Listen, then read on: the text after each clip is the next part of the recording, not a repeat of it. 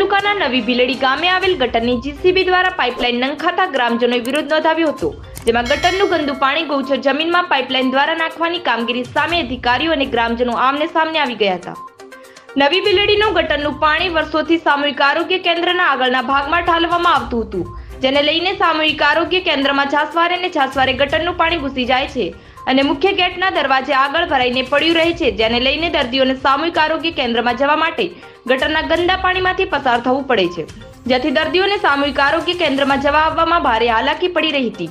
અને લોકો આ ગટરના ગંદા પાણીનો યોગ્ય નિકાલ આવે તેવી માંગ વર્ષોથી કરતા આવ્યા હતા, જેને લઈને નવા વરાયેલા બનાસકાંઠા ડીડીઓ સ્પનિલ ખેર ગુરુવારે સામૂહિક આરોગ્ય કેન્દ્રની મુલાકાત લીધી હતી.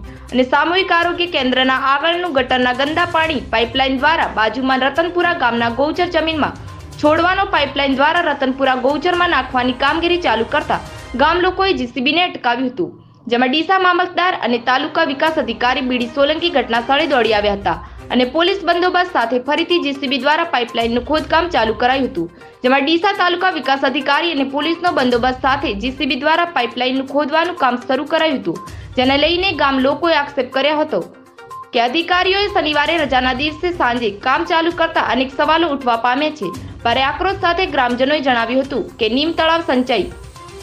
નર્મદા પાણી નાખવા તળાવ બનાવ્યું હતું, જેમાં નવી ભીલડી ગટરનું ગંદુ પાણી નંખાતા ગામ લોકોએ વિરોધ કર્યો હતો, જેમાં આવનાર સમયમાં ગામ લોકો દ્વારા ગાંધી ચિંધ્યા માર્ગે જન આંદોલન કરવામાં આવશે, તેવી ચીમકી પણ ઉચ્ચારી છે. રિપોર્ટ પ્રકાશ ગોસ્વામી બનાસકાંઠા.